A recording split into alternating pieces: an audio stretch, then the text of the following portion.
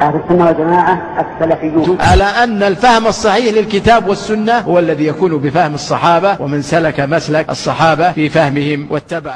السؤال الثالث شيخنا من المعلوم أن إذا مات ابن آدم انقطع عمله إلا ثلاث من منها العلم ينتفع به. فنجد بعض الأعوام الذين يريدون خيرا يدخلون في أمور العلم يعلمون دروس علمية ولكن لا علم لهم.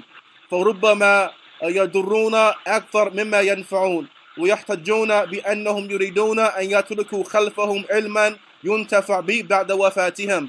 فهل من نصيحة لهؤلاء؟ وما رأيكم في هذا العمل؟ لا هذا العمل غير صحيح. والعلم الذي ينفع صاحبه هو العلم النافع الصحيح. في كتاب الله وسنة رسوله صلى الله عليه وسلم. أما الشيء الذي لا أصل له هذا ليس بعلم بل هو ضرر وإفساد للعقل. فلا يطلب الإنسان الشيء من غير بابه.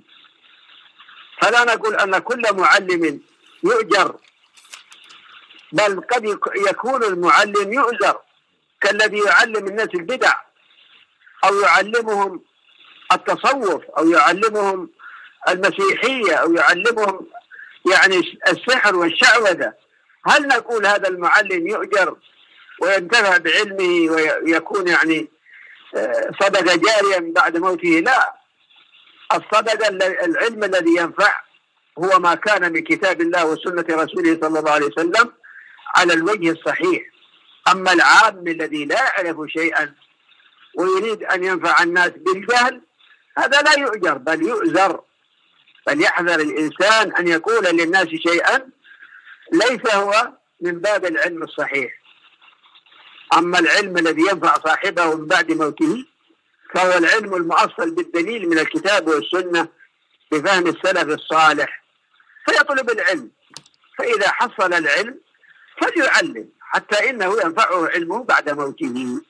أما أن يريد أن يستفيد من العلم وهو لم يطرق بابه ولم يعرف يعني العلم النافع من الضار هذا لا يجوز له أن يطلب الشيء من غير بابه. نعم.